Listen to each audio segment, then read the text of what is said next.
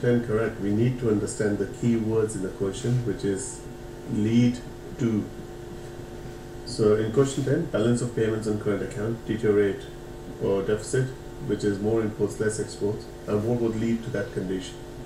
So if the UK inflation rate, if I look at that and it's higher, we will export less goods. Why? Because if domestic inflation rate is higher, then British goods are expensive for foreigners to buy. And on the other hand, we would prefer to buy cheaper imports. So if that is the case in terms of high inflation.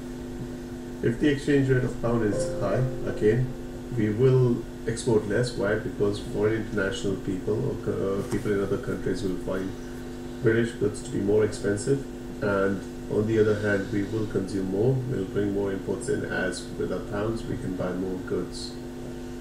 UK employment should fall as people have more money, they will demand and consume cheaper goods.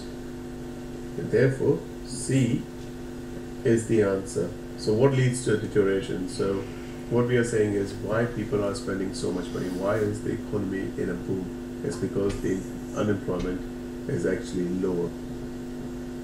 Moving on to the next